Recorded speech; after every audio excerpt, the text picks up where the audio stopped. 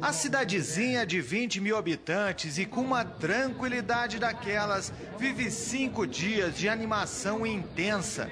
A tradição do carnaval faz Itibagi um lugar ideal para os foliões. 50 mil turistas são esperados.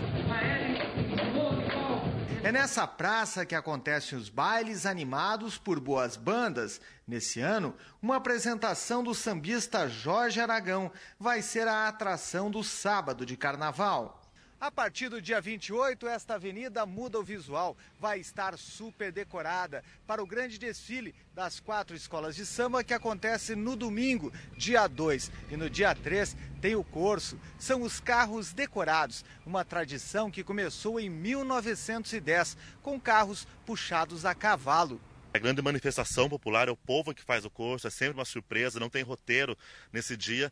E então, na segunda-feira de carnaval tem o curso. Qualquer família que quiser participar, é só enfeitar o seu carro e cair na folia também, trazendo alegria, todo esse diferencial que é o carnaval do Itibagi, com essa participação democrática na segunda-feira de carnaval, que é o curso. Tudo está sendo preparado nesse barracão. São 600 fantasias. Há 20 anos, o carnavalesco é o Reale, conhecido pelo trabalho criativo. A gente pesquisa e adapta a nossa realidade, né? E como o tema esse ano é Copa, então ficou bem mais fácil, né? Trabalho não falta. 13 horas por dia fazendo, produzindo as fantasias que lembram a Copa, mas ninguém reclama. É trabalhoso, mas é gratificante, né? É uma coisa que a gente vai ver na rua desfilando e se divertindo, né? Tem gente que está com a fantasia quase pronta e muito animada para ir à avenida. Com orgulho de fazer as coisas, né?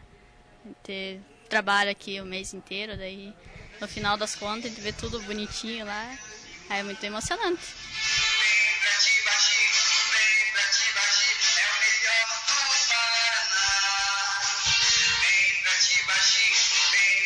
Magie, você